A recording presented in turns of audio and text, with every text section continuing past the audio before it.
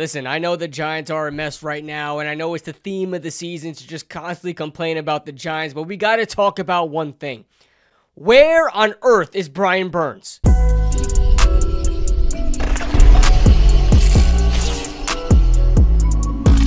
What is going on, guys? What is going on, 27 Squad? Welcome back in to another video. And yes, we've got more sound panels. Absolutely. I had to do it by necessity because of what happened um, in that live stream versus the Cowboys. But listen, I've recovered. I've recovered the aftermath. I've, I've calmed down. Um, you know, not only is my parlays still not hitting, but the Giants aren't that good either. Listen, this is this is a bad year for me as far as football goes. Okay, um, usually I hit my parlays. Usually, um, you know, I, I I'm more excited about the Giants, and it's just so hard, so hard to keep my cool this season. And listen, yeah, I'm wearing my postal shirt, okay? Because I'd rather wear the USPS than the New York Giants on my chest right now, okay? I'd rather pump up the US, the United States Postal Service than than represent the New York Giants right now. But before we get into that, I want to talk about today's sponsor, BetUS. Make sure you guys check out BetUS for a 150% sign up bonus up to $2,000 on your first deposit. And the second and third one are 125%. You're not going to get a better deal than that. Check out BetUS for all your betting needs. All right, but in all seriousness, I really wanted to come on here and talk about Brian Burns and, and Shane Bowen's defense in general.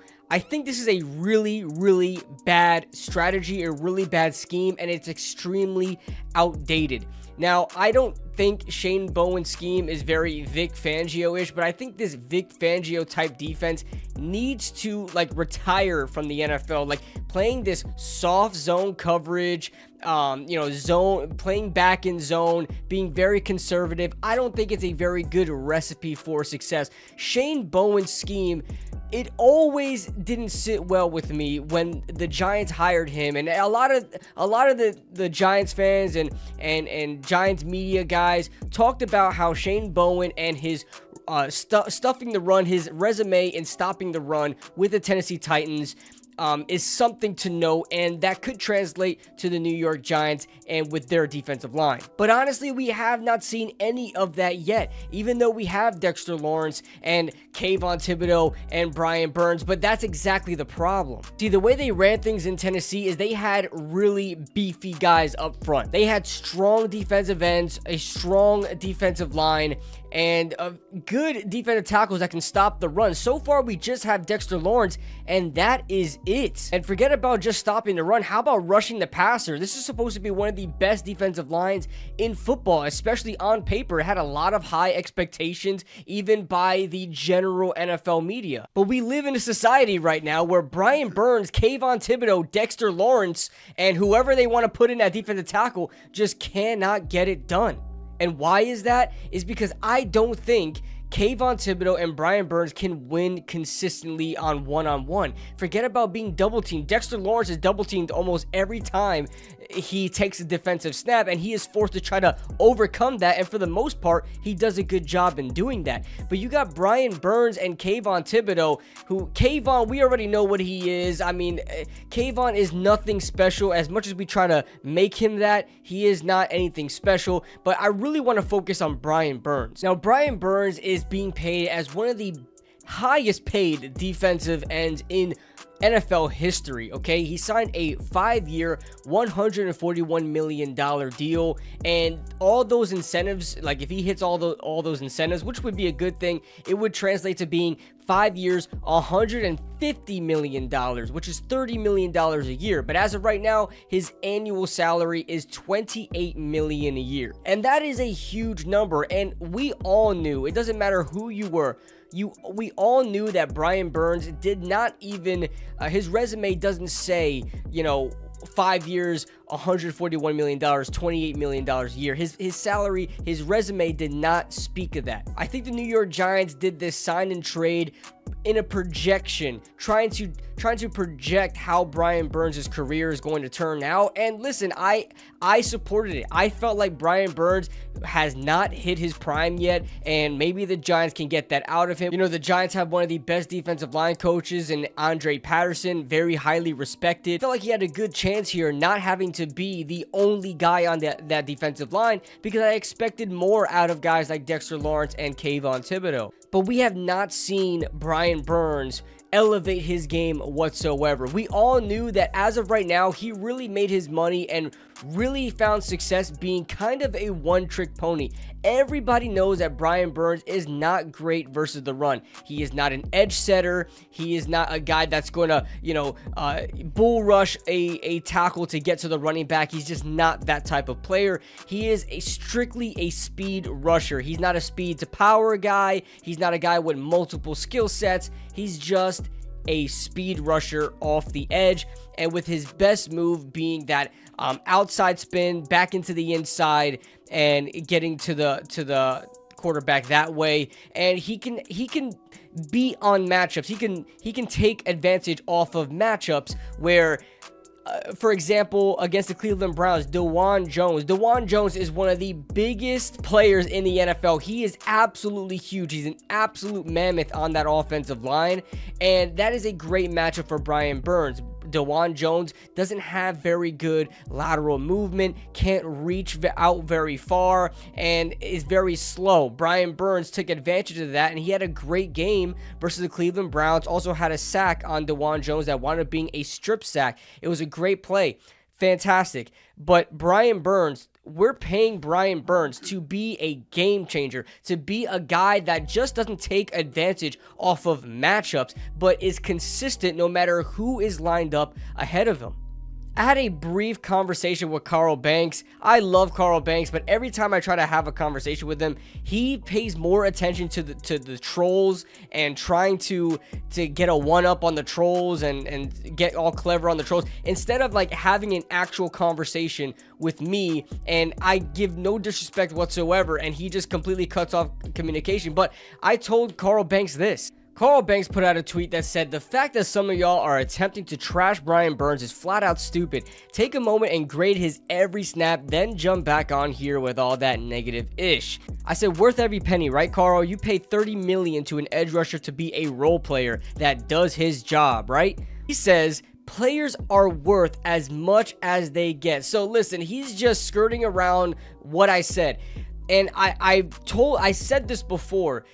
Brian Burns is being paid to be a game changer. You if if the Giants wanted to get themselves a role player like Carl Banks says he is, a guy that just does his job and don't blame him because he's just doing his job then you the Giants should have just re-signed Jihad Ward, who did a fine job just setting the edge and making sure running backs don't bounce into the outside. Jihad Ward was pretty good at that, and he was rotated in on running downs to be that type of player. It, it, at this point, that's all Brian Burns is, I guess, what Carl Banks is supposed to be doing. So why are we paying him $30 million to do that job? And then I said, I have so much respect for you, Carl, so don't think I'm trying to be argumentative, but that is not a good enough answer. I want a role player. I would have resigned Jihad Ward, whose job is to set the edge, and he did it well. The Giants paid Brian Burns to be a game changer. Shane Bowen's defense relies on four man rushes. He's the highest paid on the line, more than Dex.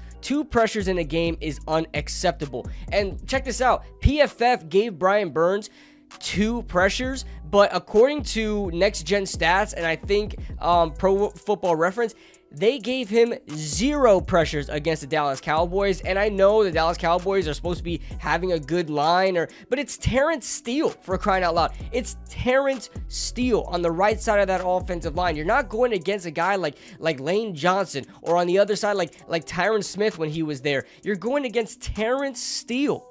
Bottom line, this defense is not for Brian Burns. Brian Burns needs to take advantage off of stunts and blitz, and when there's absolute chaos, his speed and ability to get inside off of those spin moves it can work well with a lot of blitzes. That's why he worked well in that Cleveland game because Shane Bowen completely got off of his game and um, in a good way and used a lot more man defense, used a lot more stunts and blitzes, and we were able to get to the quarterback eight times. It seems like they reverted back to how they usually play against the Dallas Cowboys, and you saw that it, it is not good. I don't know why they just went back to that. I don't know if it's a pride thing. I don't know if they just that that was you know that was what they planned on or wh- whatever the case is. But these four man rushes are just not going to get it done. Brian Burns can't win one on one consistency consistently, and neither can Kayvon Thibodeaux. We're asking that we're asking Dexter Lawrence to do it all at that point because at defensive tackle two, you either have Nacho who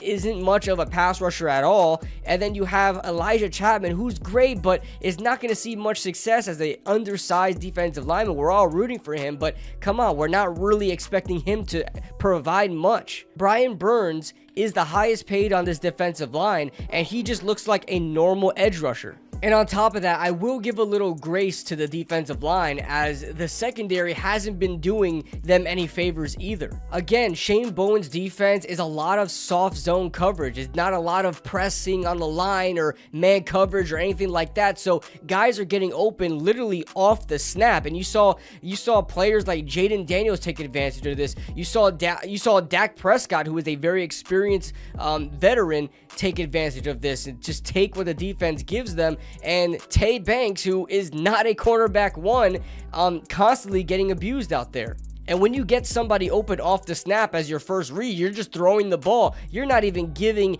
any time for your defensive line to get there. Has to be a connection there with the uh, defensive line and the secondary working together to try to get to the quarterback. The secondary has to be able to not give a good look or not force anything open to allow the defensive line to get there. And in turn, the defensive line needs to get there as fast as they can so they don't uh, you know, they don't allow the secondary to get exposed over a certain amount of time. They have to work together.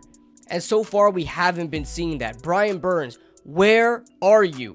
but I am telling you right now, that motherfucker back there is not real. It just seems like every time the Giants go ahead and get a big name free agent player that even the general NFL is like very, very hyped about, it just never works out. Uh, yeah, Brian Burns, Kenny Golladay, uh, you know, Darren Waller, uh, you know, Kadarius Toney, everybody talked about him. I mean, it, it just it can go on and on and on. The Giants can get a lot of top name free agents and they just never work out over here. And when they leave, they're stars. So I don't know what to make of it, guys, but let me know your thoughts in the comment section below. Do you guys put a lot of blame on Brian Burns or do you think he's just a guy doing his job and just doing what he's asked to do?